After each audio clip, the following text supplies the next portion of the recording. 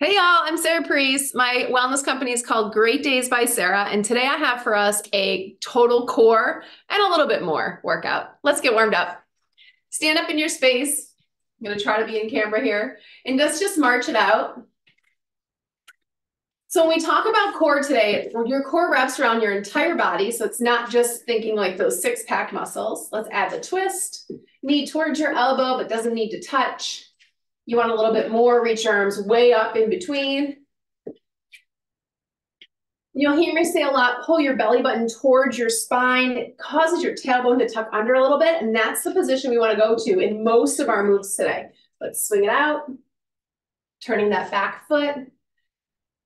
If you're someone who deals with that um, abdominal separation due to childbirth and labor and all of the lovely things that our mom's bodies go through, this is probably not the workout for you, but I do have a workout series, Start and Star, that does address that abdominal separation with some real safe exercises. Some of this stuff will be appropriate, but definitely not the workout you want to do if you're looking to pull that space back together. And it's so important that you put it back together before you strengthen it, because if you don't, then you end up with like that permanent kind of pooch out in your abs. Last one here, and send it side to side. So everything will be for time today, between 30 and 45 seconds, depending on the move. I'll encourage you to just keep moving, but of course, honor how your body feels today and do what feels right for you. All right, let's start. We're gonna start in a downward facing dog today. So picture upside down letter V with your body. Remember the timer is that? And we'll start in this upside down letter V, and then we'll move it out to a plank. So this will be our first move. If full plank is not in it for you today, drop your knees and think straight line from your knees to your shoulders. Send it back and forward.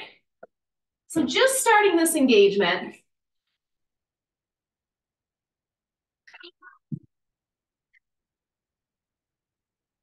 breathing and squeezing, sending it back and forth. And then on our next time out, we'll do one more down dog. And then our next time out, we'll hold in this plank. So either full plank or modified and take your left hand, bring it to your right shoulder. So trying to limit the wiggle in between.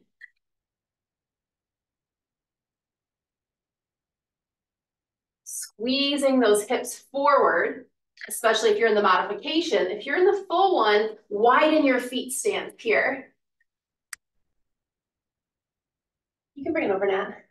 And put it right in front of me. Thanks, love. Three, two, and one. Flip it on over. We're gonna go into a bridge. So heels close enough to your glutes that you can kind of graze them with your fingertips or come close. And we're gonna lift, tuck and squeeze, and lower. So it's a lift, tuck and squeeze, and lower. So slow and intentional for this one. And then we're gonna add on.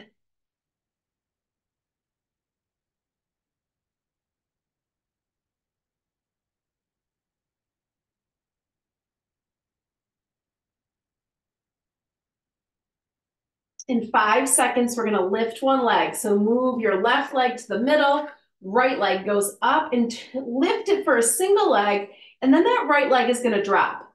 Now it can be straight, it can be bent, and it can be a big range of motion through that hip, or it can be tiny.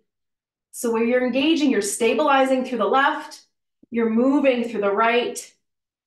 Those obliques, our amazing muscles on the side of our body are working your back kicks in too without really thinking about it. Lift those hips up a little higher for three, two, and switch it over. Right one plants in the middle, left one goes high. Try not to drop your hips. And then left leg lowers and lifts.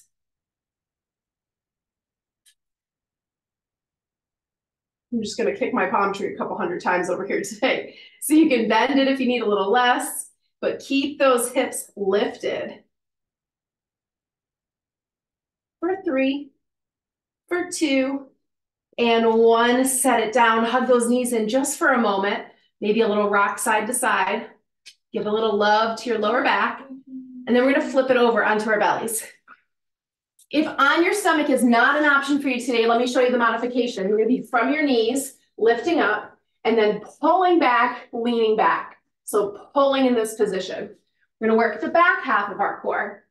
If you are coming down on your bellies today, glue your toes together, reach your arms out as close as you can to your ears. they need to be a little wider, that's okay. And then we're just gonna lift and pull and reach and pull. So legs stay lifted the whole time.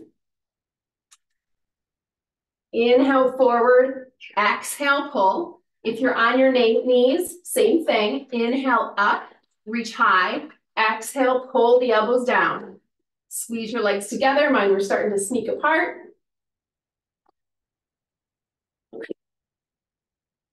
You got three, two, and one. Press it up, all fours, hands and knees. Bird dog, right hand comes forward, left hand comes back. Leave them on the ground to start. Square your shoulders, square your hips towards the mat. First part of this one, lift and lower. So teeny tiny tap, and then lift up just to shoulder height and to hip height.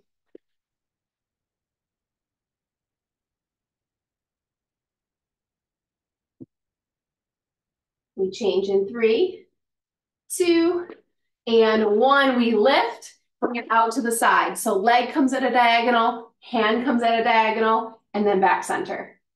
We reach and center. Stabilizing the rest of your body. Strong flex through your back foot. So that back leg is active, that arm is straight. Last one to the side and keep it lifted. Inhale, lengthen. Exhale, tuck. Maybe your knee can touch your elbow.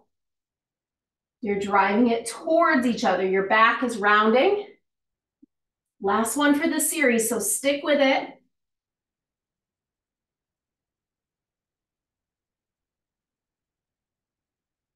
Exhale as you squeeze together. Inhale for length.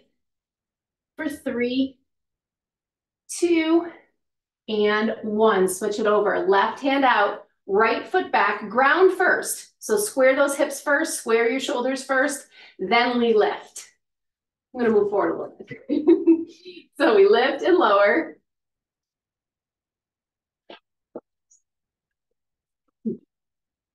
Reach, can lower with control. Don't let gravity do the work. Fight it. for three, two, last one up, hold it up. Now we're going at an angle. Reach it out to the side. Make it a long diagonal line and then peeling it back to the center.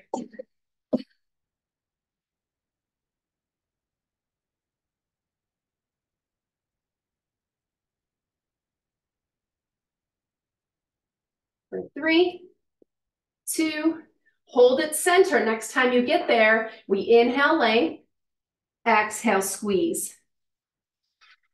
Big inhale, strong exhale, squeeze it all together. You're feeling it in your base arm, which is your right arm with this one, totally normal. Everything is used to stabilize in these positions. Up on our feet in three, two, and one. Stand it up. Roll those shoulders back and down, and then place your hands ever so gently behind your ears. Give yourself a wider base. So think hip distance. Then we're going into a good morning. Your back stays flat. Your elbows stay high. And then you stand it right back up. So it's not about how low you go. It's how slow you go and how straight that spine is. Have a little knee bend. We're squeezing our shoulder blades as we peer over this ledge.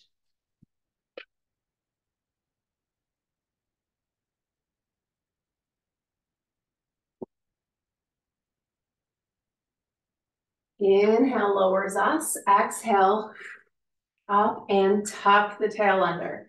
Last two. And one. Stand it up tall. We're going to move into a sumo squat or a goddess squat in yoga. So our feet are going to turn out. Our knees are going to track over our ankles. And the first part is just a pulse, just to get ourselves into it. It's lower. So we're here for a short amount of time, making sure our knees are pointing out to the side. If they're, if they're falling in, open up, even if that means you have to come up a little higher. Find the pulse, and then hands in that same position, light behind your ears. Find stillness and tip. Center and tilt. So going back and forth, sinking as low as you can through your legs. This is where the and more comes in in this workout. So we have our core, we're working our obliques, and more. We have our inner and outer thighs. We have our shoulders having to hold our hands up. Now see if you can get a little closer to your leg. Maybe your elbow even taps while keeping your chest open. Last one each side. We'll give those legs a break. Stay in it if you want more of a challenge. If not, give those legs a break. We're gonna add the twist. So upper body will stay the same, lower body stays the same, and it's a twist. Center, exhale, twist. Inhale, center. Twist it out.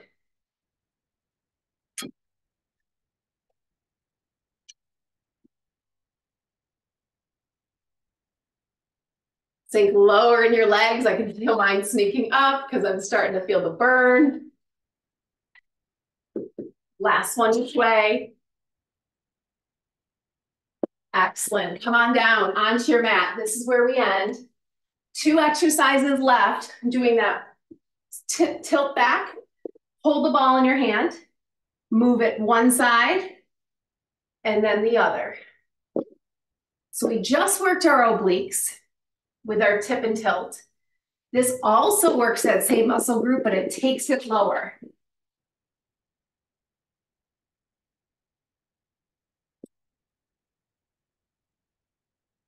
Exhale as we twist. Inhale, center each time.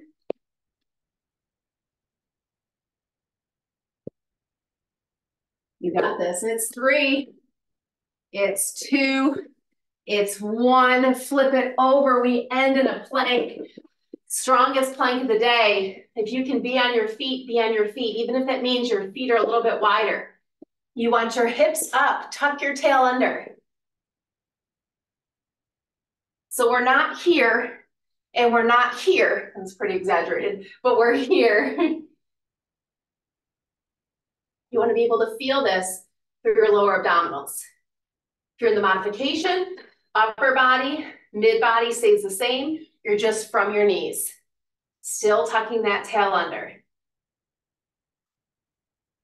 You got 10 seconds, and then that's a 45 second plank. Here comes five, four, three, two, one. Slowly lower down all the way, and then we'll find Sphinx. Hump those toes, let them, let them splay out. Find weight on your forearms, pressing your hands into the mat. If you need a little bit more, you can always press it to an upward facing dog. But after abs, I think Sphinx does the trick.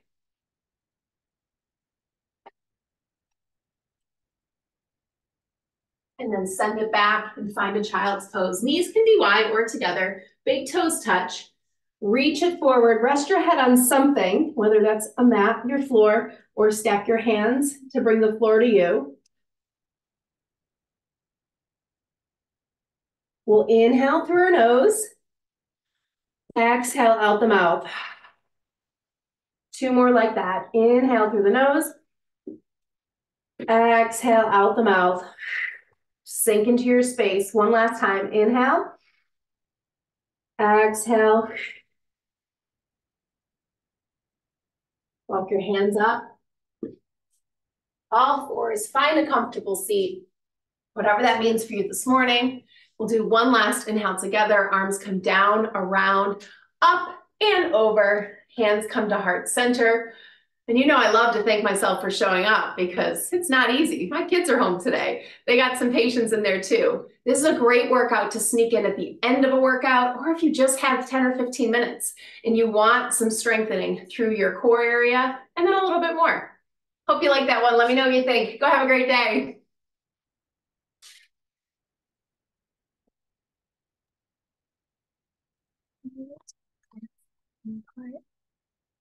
Mm-hmm.